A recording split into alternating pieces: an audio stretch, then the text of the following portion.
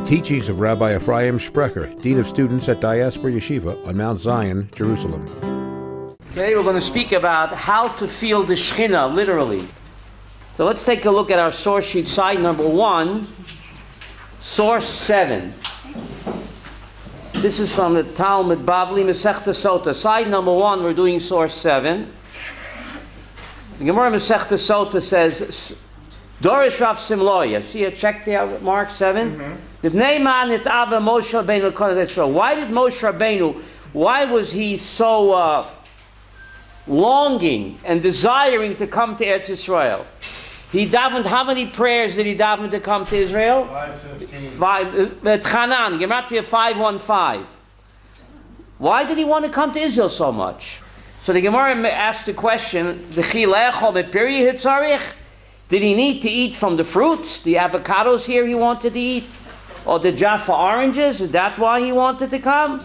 Or the Zboy Matuva Tzarich? Or did he need to be satisfied from the goodness of Eretz Israel? Why was he so eager to come to Eretz Israel? Which is a strange question, because there's a mitzvah of Yishav Eretz Israel. There's a mitzvah to live in Eretz Israel. What kind of, what's the Gemara asking? Why did he want to come here? He likes the, uh, the, the grapefruits here. There's a mitzvah of Yishav Eretz Israel. Isn't that reason enough to come to Eretz Israel? Strange Gemara. Elokacho Moshe. But Moshe Rabbeinu said, Harbe mitzvot nitztav Yisrael. Many mitzvahs the Jews are commanded, Many mitzvahs can only be done where? Only at Israel. Akana Sanila Aretz, I want to enter the land. Kadesh Yiskaimu Kulan Ayadi, so I'd be able to do all of them. Amalei Kudish Baruch so God said to him, I know you're interested in the reward of the mitzvah. Let's play virtual reality. I'll give you schar, even though you don't do the mitzvah, stay where you are in the midbar, and I'll make believe that you come here and you get the schar anyway. Strange Gemara. Moshe is interested in the schar. What's the Gemara talking about over here? And isn't just the fact living in Eretz Yisrael, isn't that enough of a mitzvah? The, the Sefri says in the Vorim, Pashas Re'ei, Shkula, mitzvah yishuv etzol, connected kol mitzvah b'torah. The mitzvah of living in Eretz Yisrael is equal to all the mitzvahs in the Torah. So why does the Gemara say he wants to eat the fruits here? Just to come and live in Eretz Yisrael. Isn't that reason enough to desire to come here? What's so interesting about the fruits? What are you so focused on the fruits for? There's a pasuk in Jeremiah chapter 2. Va'avi eschem el eretz ha-karmel, and I brought you to, what does eretz ha-karmel mean? The fruit, what? Fruitful, fertile land. Lechol pirya v'tuva, to eat the, the fruit and the goodness of the land. So that's a virtue in itself. God tells Jeremiah, I brought you to a fruitful land to enjoy what? The delicious perot. So that itself is what? A virtue. But what about just the mitzvah of what? Of living in Eretz Yisrael. Isn't that reason enough to come to Eretz Yisrael? So you could say that that's a mitzvah done passively. You come to Eretz Yisrael, and like you're sitting and you're doing nothing and you're getting reward. But Moshe Rabbeinu wanted to what? To do an active mitzvah. Somehow, by eating the fruits of Pisgat Zev, I mean of Kiryat Moshe, you're doing an active mitzvah of living in Israel. Why? So, living in Israel, you're sitting and taking a nap, you're doing a mitzvah Yisrael, but you're doing it passively. The Gemara is saying here in source number seven that somehow by eating the fruits of the land, you are doing an active mitzvah of living in Israel. How? By eating an Israeli apple or an Israeli what? Date. Date. Somehow you're actively doing the mitzvah of Yisrael to Israel. But the question is, how? So let's look at source number eight, Hilchas Brachos Aperis. Now, when we eat the species that Israel is praised for. When you're eating olives, or you're eating dates, or figs, or pomegranates, or grapes, you make a bracha me'en shalosh. And what, what nusach do you say in that bracha? Look at source number eight. We say v'noicha mepirya nizba betuva. You say in the bracha, I want to eat of its fruit and be satisfied with its goodness. Some people say you shouldn't say that. That's why you want to come to Israel to enjoy a delicious Yafa orange. But we do say it. Don't we say it? In the bracha en shalosh, after you eat grapes, dates, pomegranates, or olives, you say in the bracha of anoichel and period tuva. But some say you shouldn't say it. Look at foot, footnote number eight. The Beit Yosef Arachayim. V'nire shetamoy b'mnei shehu mefaresh shema shono oimim nochel period tuva. Ein atachlet shil Some say that's not the reason you want to come to Israel to enjoy a juicy orange. That's not the reason. We want to enjoy what? The Kedusha of Eretz Yisrael, not the juicy orange. Who are Tachlis? The Tachlis is the source number eight, what? The Kedusha of Israel. But the halach is that we do say, I want to enjoy the delicious fruits of Pisgat Zev, I mean of Kiryat Moshe. But others say you shouldn't because you're only coming for the Kedusha, not for the juicy fruits. But the, the fruit is part of the Kedusha. Beautiful. Chava just gave the whole shear away. The Kedusha and Tahara of Israel is dafka absorbed when you're enjoying a delicious Yafa orange. Or a delicious uh, Pisgat Zev date or fig. Where do you live? Where do you live? Armon HaNatziv, a delicious apple from Armon HaNatziv. That's the way to attain Kedusha. It's not two separate ideas. But I'm going to show you the Chiddush in source number nine. That dafke by the, enjoying the delicious fruits of Eretz Yisrael, that's what Moshe wanted. That's how you get the Kedusha. Who says you are what you eat? By ingesting the fruits of Israel, you are taking inside of you Kedusha. But even more than that. Stay tuned, Mark. Source number nine. Number nine. This is the Bach. The Bach lived in the 1600s. A great posek. Not that. Bayit Chadash. His name was Rabbi Yoel Sirkis. And he wrote a work called Bayit Chadash. So the great rabbis are known after their works. Bayit Chadash, the acronym is Bach, N- NYPD. Source number nine. Look what the Bach says in Orechayim Simon Reish Ches. The of old. You see what it says, number nine? The yesh armim. The noichel pidnus b'tuva vein. Some say when you're eating, after you make uh, the bracha mein shalosh, you shouldn't say, I come to enjoy the fruits and satisfaction of uh, the goodness of Israel. V'tema. What do you mean you shouldn't say it? I'm shocked. How dare some rabbis suggest that you shouldn't say what? You enjoying the fruits and the goodness of Israel. Holy Kedusha Eretz Yisrael, exactly what Chava said in source number nine. The Kedusha of Eretz Yisrael is only enjoyed, the Kedusha Eretz, only by eating the Paris. How do you get the Kedusha of Eretz Yisrael? Mukadesh Eretz al Yona, he nishpat gam beperosel. Also by eating the fruits, that's how you are ingesting the Kedusha of what? Of Eretz Yisrael. Sheyonki Kedusha Ashkinah.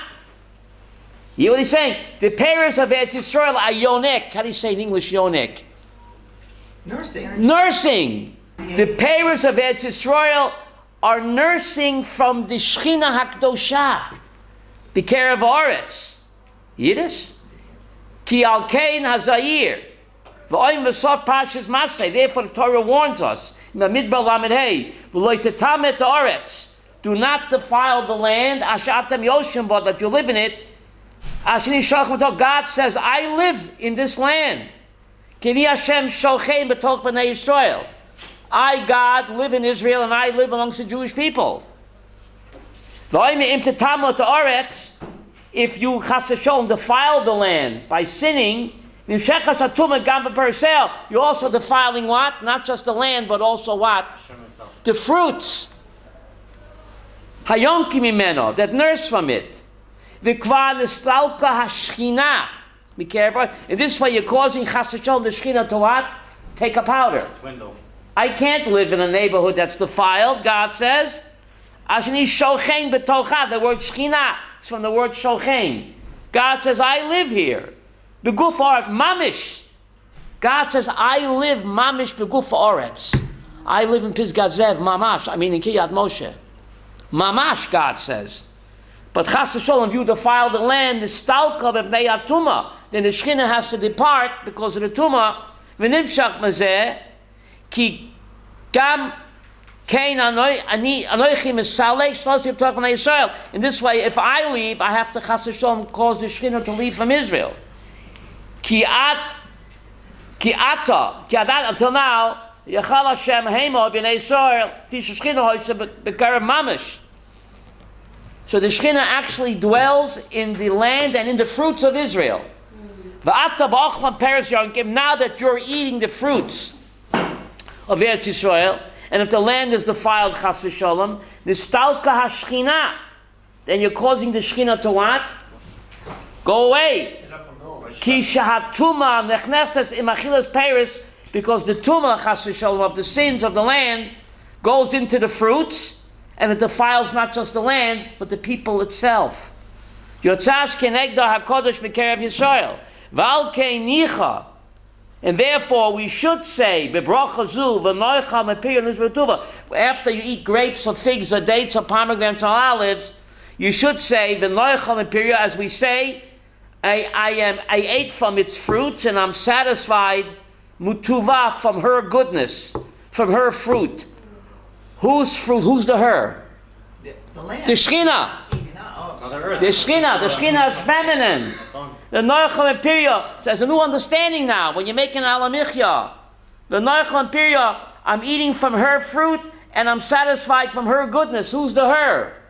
The Shechina, which dwells in the fruits of Israel. Listen to this. Ki ba'achilas paraseh. I think it's underlined. The bottom of nine. You see that mark? Ki ba'achilas paraseh. Onu nezoinim bekdushat hashchina. You know what he's saying? I wouldn't dare say this. By eating the fruits of Eretz Yisrael, you are, uh, you are, what does nezonim mean? Nourished and fed from the kedusha of the Shechina. The nizba mitavasa, and you're satisfied from her goodness. Whose goodness? The Shechina. So what an amazing bach. Every time you eat a fruit of Eretz Yisrael, Chava, you're ingesting, do I dare say, the Shechina. Shekhinah. That's what the Bach says. You could say it, Chava, take it, that's why take it with you. Number nine, number nine. You keep that page. That's just incredible what the Bach is saying. That's what he's saying. So now we understand a little bit deeper. The Gemara is asking, did Moshe, did Moshe want to eat from the fruits? What's the word tzarich? Go back to number seven. Did Moshe need to be satisfied from the fruit? Now we understand. Since the Shekhinah was always inside of Moshe anyway, he didn't need to eat the fruits of Pisgat Zev. Because he already has the Shekhinah inside of him. He's Ish Elokim. So the, the Talmud says, Hu loy tzarich. Isn't that amazing? Moshe didn't need the Tosefet Kedusha of the fruits of Israel. Moshe didn't need it. But me and you and you and me, we sure need it. Moshe been there, done that. He already had the Shekhinah. He already was super 10. So he didn't need to eat the fruits of Israel because he already had the Shekhinah. Been there, done that. But we do need to eat the fruits of Israel because we're not Moshe Rabbeinu. So Chava, what, what did we learn today? Every time you eat a fruit of Israel, you are ingesting the Shekhinah into yourself. Isn't that an amazing idea? When you eat an apple of Israel, an orange, or any fruit of Israel, you have to hinni milchonim um zuman. I'm about to ingest the Shekhinah Kdosha. And when I make the after bracha I'm eating from her fruit and satisfied from her goodness. It doesn't just mean Mother Earth. It means the Shekhinah HaKadosha, which is feminine. That an amazing idea? Wow.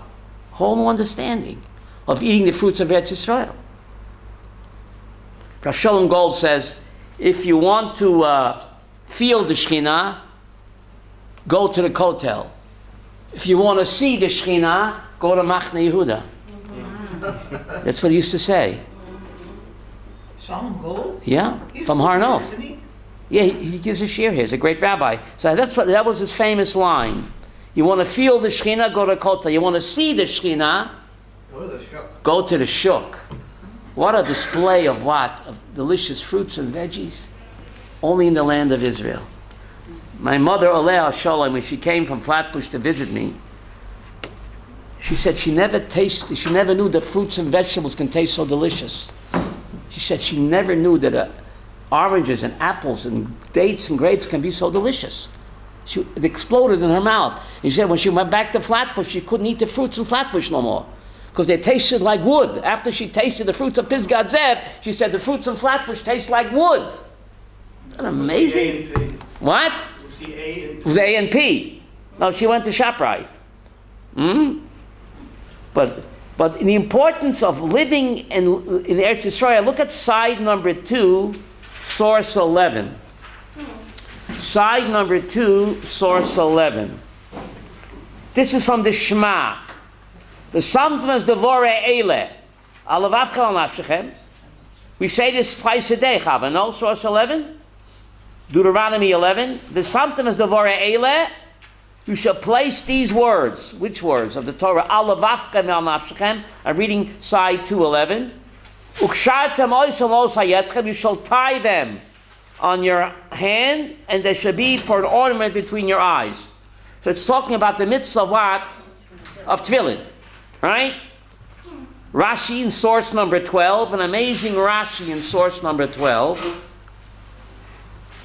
The Santam is Devare. You shall place my words. It says Alavavchem. What does Alavavchem mean? On your heart. Shouldn't it say Bilavavchem? The Balatanya asks kasha, Chava, not me. You know, you know Hebrew very good. Look, the sometimes the Vore Eile, Yehuda should ask your uh, Ulpan teacher. Look at source number 11. The sometimes the Vore Eile, it says Alavavchen. You should place my words of the Torah on your heart. Shouldn't it say Bilavavchem? Inside your. Inside your heart? How come it says Alavavchem? B. What? Al means on. Could also mean about. Should be what? Also mean about. About your heart. What does that mean, about your heart? That doesn't make sense. Uh, I mean, God knows Hebrew, right? He invented Hebrew. So he should have said, Yehuda, source 11, ask your teacher. The sound of the Eile, how come God says, Alavavchem? Place my words on your heart. It should say, Bilavavchem. In there. No, says the Balatanya. The Talmud tells us, Haba Lataya Messiah Oisai. If someone comes to purify himself, God will what? Help him. Help him. Alavavchem. Even if you can't put the words of the Torah in your heart, you're just going through the motions. I'll help you. Nike, just do it. Alavavchem. Even though you don't really mean it.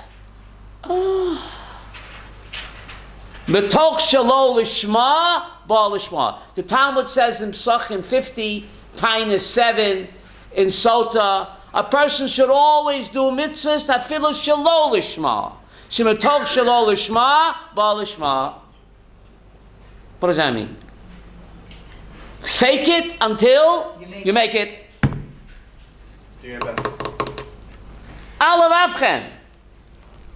Just go through the motions, even if it's just on top of your heart. But there's a called, I think it's called Chava, the trickle down theory. It sinks in. It sinks in. You just go through the motions, Alav Avchem. Therefore, we say Nase before Nishma. Even though I don't understand it, I really don't mean it, just, Nike, just do it. The Tok Shalom Lishma, Ba Lishma. We have a guarantee. If you just do it, eventually, you'll mean it. Judaism is a religion of action, of doing. The Chinuch says, action shapes character. You keep doing it long enough, it will sink in. The Alav Avchem, Chava will become Bilav Avchem. Or betoch Avchem. Start out Alav Avchem. Isn't that amazing? Judaism is a religion of doing. The Nasa is always before. The Nasa is always before the Nishma. Now, speaking about tefillin, source number 11, Chanoch, speaking about tefillin, tie them on your hands and on between your eyes, source 11. The, the pasha of tefillin, there are four pashas in tefillin. The same four are in the head and in the arm, but there's one major difference. In the head tefillin, the four pashas are separate batim. They're four separate compartments. The hand tefillin are the same four pashas, but they're on one cloth. What's the symbolism of it?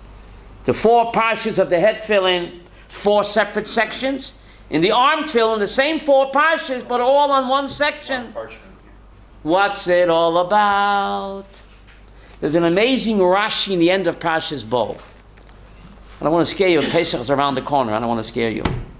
We speak about the Arba Banim, the four sons. Rashi makes an amazing statement. The end of Parshas Bo, Rashi says one of the reasons that the Tefillin contain four parshas is Four stones. the four sons. Did you know this, Banish? Good thing you came today. Keneget arba banim. Rashi, the end of Pasha's bow, connects the four Pashas of the Tefillin to the four sons of the Seder. Say what?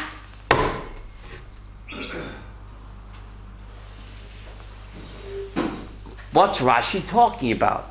Mark, you with me on this? Now, Soloveitchik explains what Rashi means. The four parshas the tefillin represent the four sons. Even the Rasha gets a parsha of tefillin. We respect the Rasha. He's part of Am Yisrael. We'll take him. The 11 herbs and spices of the Ketores, one had a very terrible smell. What's that terrible smell represent? The Rishayim. But if it's not in the mix, the whole avodah is puzzled. He's part of Klal Yisrael, The weed today is different. right? So even the Rasha is represented by a parsha of the Tefillin. But the head Tefillin, they're four separate parshas, four separate sections. the head Tefillin represents Chava intellectual intellectual pursuit.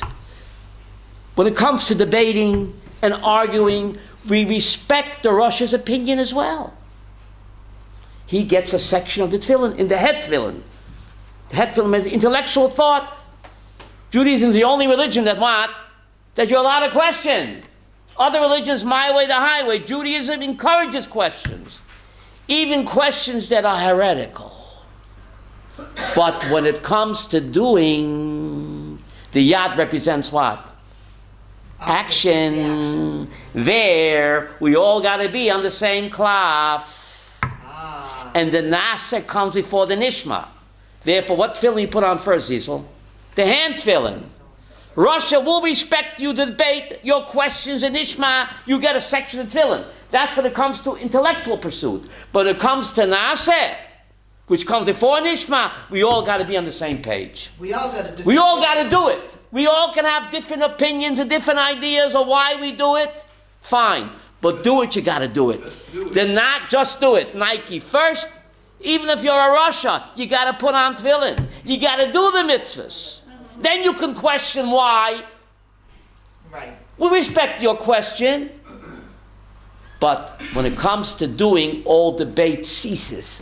All four sections, which represent the four sons, have to be on one cloth. What does one cloth mean? One page. And therefore, the Nasa before the Nishma. They all have to come.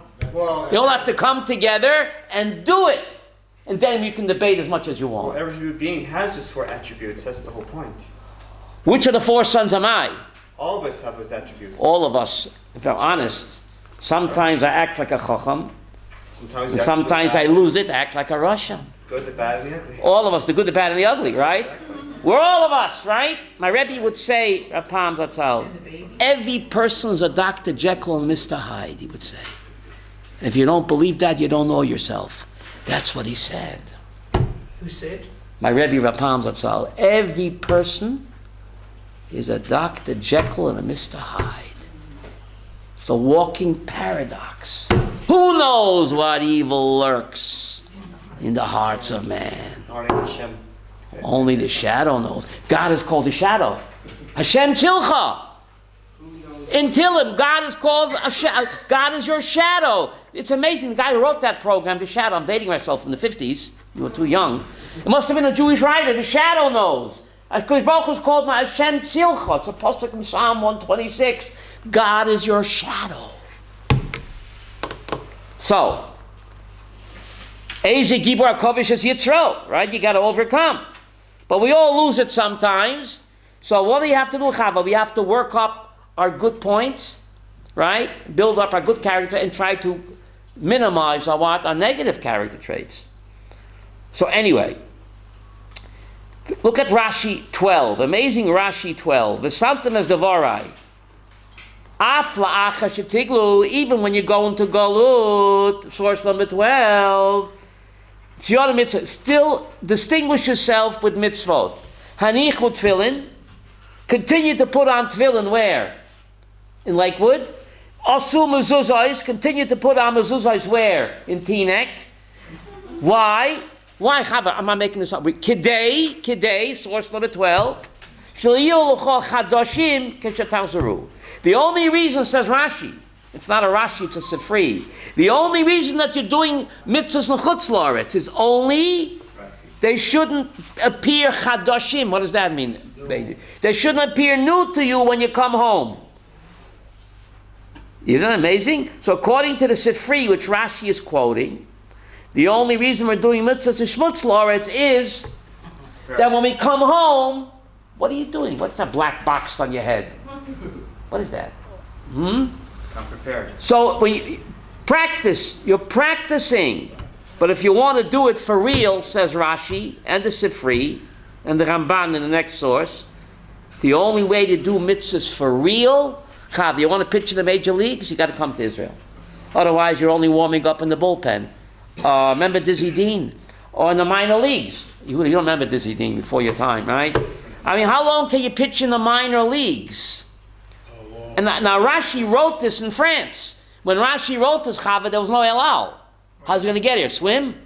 Right. Right? Swim the channel, whatever. The Crusades. But today, but today, there's no excuse. Living in Israel is the greatest of all mitzvot. And if mitzvahs only count for real, says Rashi, look at source number 12. And he quotes a pasuk in Jeremiah. Looks like Jeremiah was a real Zionist. Chava. Source number 12, he quotes Jer- Yirmiyahu Lamed Aleph. Jeremiah was a Navi, was a good friend of mine. Uh, not a bullfrog, he was a Navi. And what does he say, Chav, in source 12? Tzvi Tzionim, put up signposts. The Yidden are going to Babylon, Long Island. He says, Yidden, don't forget to do mitzvahs. They are your signposts to practice when you come what? When you come home. Wow. Thank God we're home. Amen. But Jeremiah was a Cohen, wasn't he? Yirmiyahu was a Cohen. How did you know? That's Well, right. learned many, many years. Do you know that Rav Kahane Zechat Tzadik Avracha said that he is a Gilgul of Yirmiyahu? He would say that. I heard him say that. They both Kohanim, both persecuted and hated by their own people. Yirmiyahu was thrown in jail and beaten by whom? Fellow Jews. Rav Kahane was thrown in jail and beaten by Jewish policemen. And he felt that he's a Gilgul of Yirmiyahu. And they both were martyrs. They were both murdered.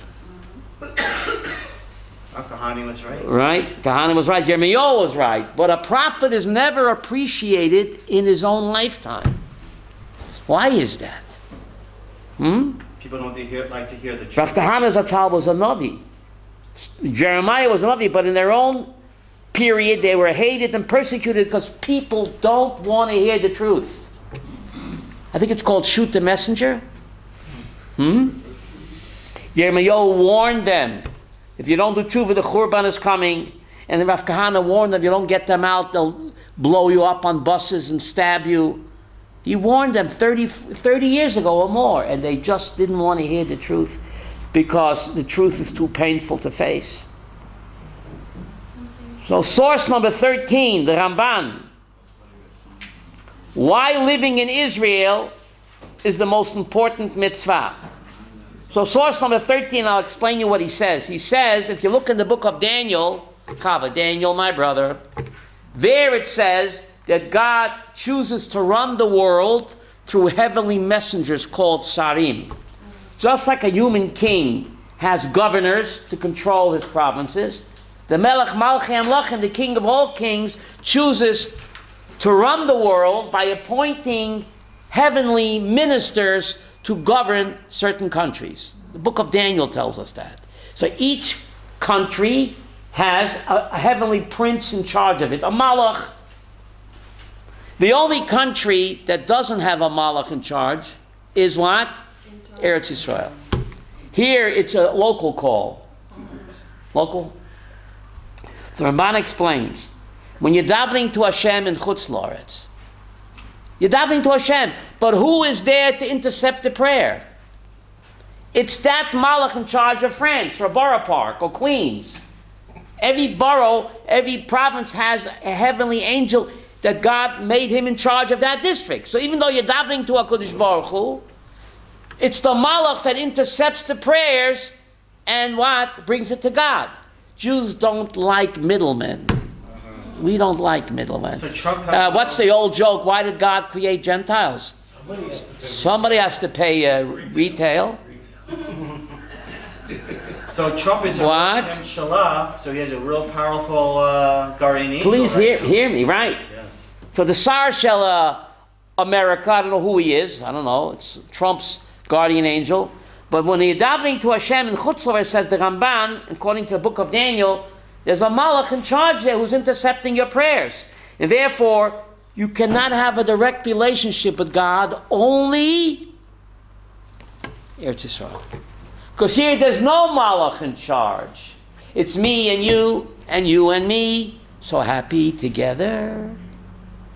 But in the rest of the world, there's a Malach there that's impeding your direct relationship with HaKadosh Baruch Hu. The book of Daniel tells us that.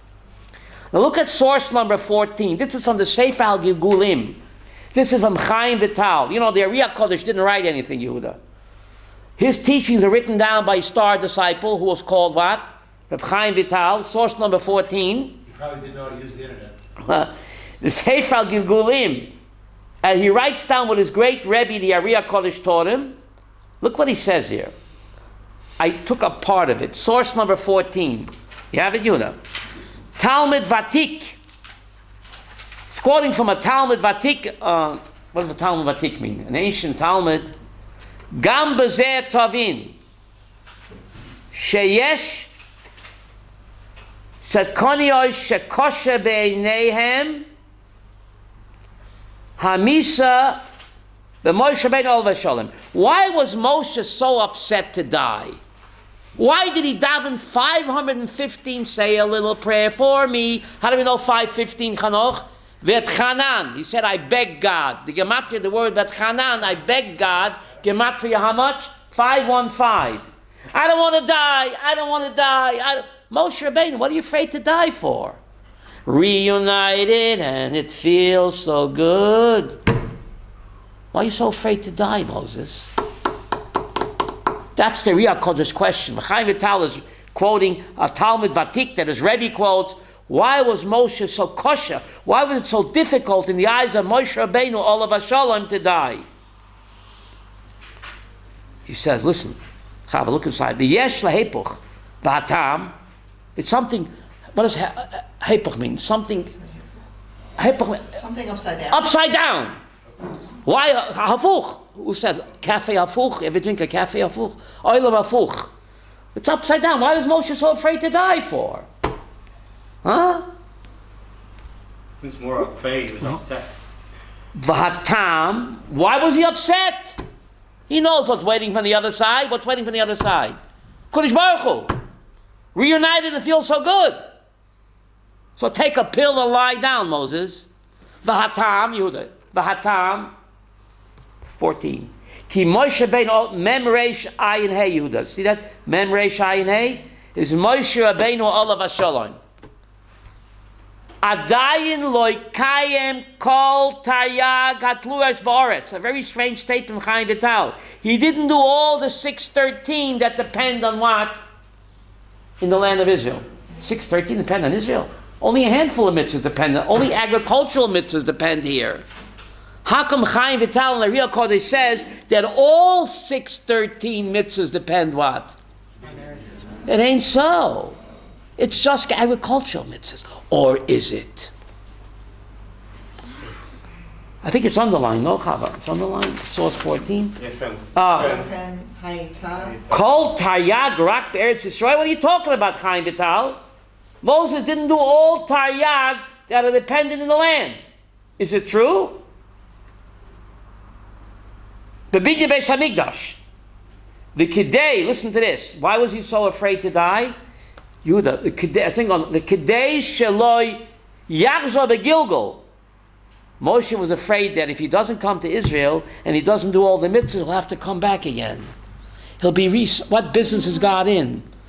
The recycling business. He's in the soul business.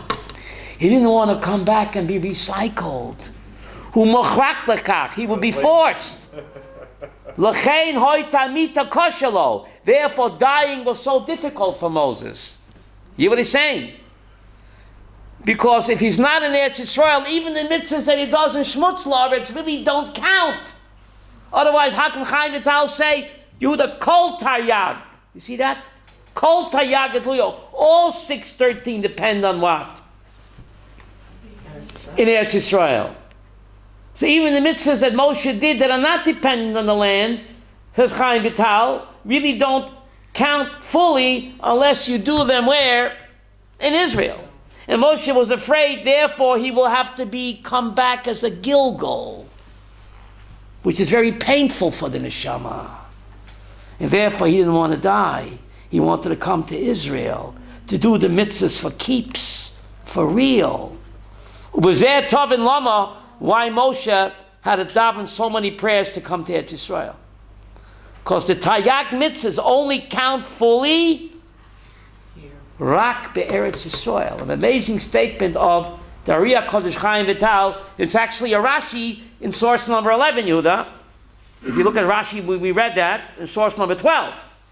That even the, when you go into Golas, do mitzvahs only as a reminder they shouldn't seem to you chadoshim when you want, when you come back to Eretz Yisrael. So Baruch, what? The Atlantis says you have no God outside of land. That's a, a statement in the, uh, the Gemara in Avodah Zarah, and it's also Rashi brings the Chumash. Whoever lives outside the land of Israel is like he has no God. Say what? Kol adar b'chutz la'aretz k'mi she'eno elahai. Kol adar b'chutz la'aretz k'mi she'eno elahai. Anyone who lives in chutz la'aretz is like he has no God. Why? You have a God, but you'll have no direct relationship with him because the, the heavenly ministers are in charge over there. They're intercepting your prayers. Huh? The Rambam in his Hakdama to Sefer Mitzvot, Mindel, Yeah. asked upon himself, there's a mitzvah in Torah Kedoshim to you. Be holy. Said the Rambam, how come I didn't put it on the list? There's an open posuk in Leviticus, Kedoshim you, be holy. So he asks on himself, why don't I count it as what? As one of the mitzvot. So the Rambam answers, Chanoch, that can't be a mitzvah, that's the end game. The purpose of all mitzvahs is kedoshim to you. So how could I make it a mitzvah? Every time you do any mitzvah, you're automatically gaining a level of kedusha. So I cannot make kedoshim to you a mitzvah because it sums up all the mitzvahs. That's what the master says in his Akdama. Said the Chazon Ish, the Rambam doesn't have to repeat himself. He gave you the guidelines. I'm counting in the Sefer Mitzvot Pratim. What does Pratim mean? Details a concept which is called Torah Kula, I can't count as a mitzvah. So says a Chazon Ish, no less. The reason the Rambam doesn't count living in Israel as a mitzvah, for the same reason he doesn't count Kedoshim Tihyu. It's the goal. It's the end game. Just like he doesn't count Kedoshim Tihyu, because every time you do a mitzvah, you're being holy. So every time you do a mitzvah, it only has full value only in Yishuv Eretz Yisrael. So that cannot be a mitzvah. That's the sum total of all the mitzvahs is to do them where in Eretz Yisrael. How do I know that the Rambam is right? Exodus 4, the burning bush. Look at the burning bush, Chava. God speaks to him. He says to Moshe, I come to take my people out of the land of Egypt to bring them a Eretz Tova Rechava, to a good and spacious land. Now, how spacious is it? Like New Jersey? I think Texas is more spacious. Eretz Tova Rechava, to a very good and spacious land. How spacious is it? I think New Jersey is wider. It doesn't mean physically. In order to expand your intellectual capacity to the fullest, it's only in Israel. So he mentions the good land, and then he says, when you take the people out of Egypt, you'll bring them back to get the Torah in this mountain. Is that chronological order as Or Chaim HaKadosh? God should have first said, when you take the people out of Cairo, come back to this mountain to get the Torah, and then Eretz Tova Chava. Why does God reverse the order, Chanoch? He says, I bring them up from Cairo to Eretz Tova Chava. And then he says, wait a minute, when you pick them out of Egypt, you come back to this mountain and get the Torah. What came first, Chanoch? The good land didn't come until 40 years later. First, God should have mentioned what? Matan Torah. And he mentions, no, first he mentions Eretz Tova Chava. And only then does he mention Matan Torah. Exodus 4. Why? Says Rachaim Kodosh. The purpose of the Exodus and the purpose of Matan Torah is only to come to Eretz Israel. He said? The whole reason for the Exodus and the whole reason for Matan Torah is only to do it here. And therefore he mentions Eretz Tova first. That's the end game. Keep your eye on the prize. That's the end game. Eretz Tova. Are you getting this? It gets even better. At the Seder, I don't want to scare you before, at the Seder, you're praising God for the redemption, for the Exodus. You quote a posuk from Pashas Kitavoy that the pilgrim, when he brings his delicious fruits of Pisgat Zev to the temple, he praises God for Eretz Yisrael. So Savet Gash, you're sitting at the Seder. You're celebrating redemption from Egypt. Why are you mixing in Deuteronomy 26, the speech that the pilgrim says on Chag HaShvuot, when he brings the Bikurim, praising God for Eretz Yisrael? You're sitting at the Pesach Seder. You don't have Eretz Yisrael until 40 years later, right? So why are you mentioning the, the farmer's praising of the land of Israel when he brings the fruit at the Seder? The Exodus took place. He didn't get to Eretz Yisrael until 40 years later. Same idea. Says Valsavi. Same idea. To prove that the whole purpose of the redemption of Egypt was to come to Eretz Tovah and to enjoy the delicious fruits of Eretz Yisrael. Isn't that amazing? So next time you bite into a Jaffa orange or a Pisgat Zev date, have in mind, Mendel, you're ingesting the Kedusha and the Shechinah. You can't do that in Lakewood. Can you do that in Lakewood? No. I don't think so. It's pretty amazing. Hmm? How a mundane act of eating the fruits of Israel, you becoming holy. You are what you eat. It's an amazing idea. Therefore, I made the, the sources. I shouldn't think I'm off the wall here. Uh, this is the Bach source number nine. And uh, source number 14, the Chaim Vital, where he says all 613 mitzvahs. I think it's underlined, Chava. Source 13, see that? Kol taryag tluyas ba'aretz. All the 613, not just the agricultural mitzvahs, depend on Eretz Yisrael. So Moshe was worried that all the mitzvahs that he did in the Midbar really don't count fully and will have to be recycled. And he doesn't want that. It's very painful for the neshama to come back again. Very painful to be recycled. He knows he was recycled twice before. Well, he was recycled. He was what? You, you're just saying, according to Chaim Vital, he was a Gilgul of Hevel.